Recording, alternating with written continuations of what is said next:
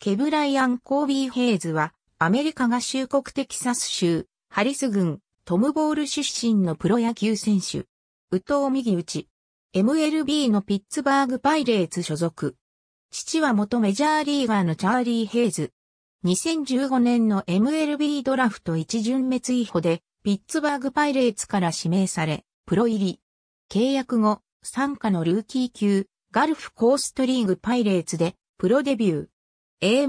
級、ウェストバージニアブラックベアーズでもプレーし、2球団合計で56試合に出場して打率。308、20打点、8盗塁を記録した。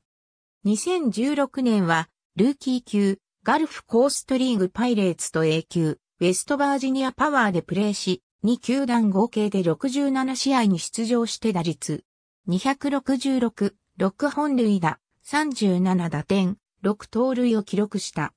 2017年は A 級ブレーデントンマローダーズでプレーし、108試合に出場して打率278、2本塁打、43打点、27盗塁を記録した。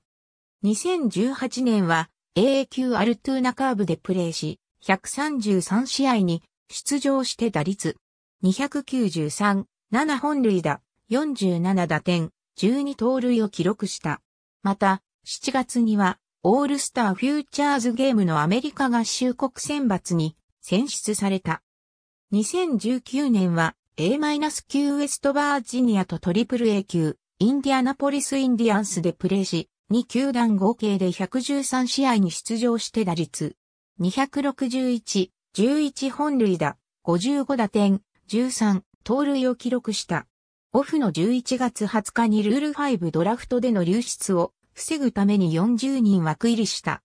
2020年9月1日にメジャー初昇格を果たし、メジャーデビューとなった同日のシカゴカブス戦では7番三塁手で先発出場して6回裏にメジャー初安打となる敵地二塁打、8回裏にメジャー初本塁打を放つ活躍を見せた。以前は強肩だけが目立っていたが、ここ数年は選球眼が向上し、広角打法も身につけつつある。ありがとうございます。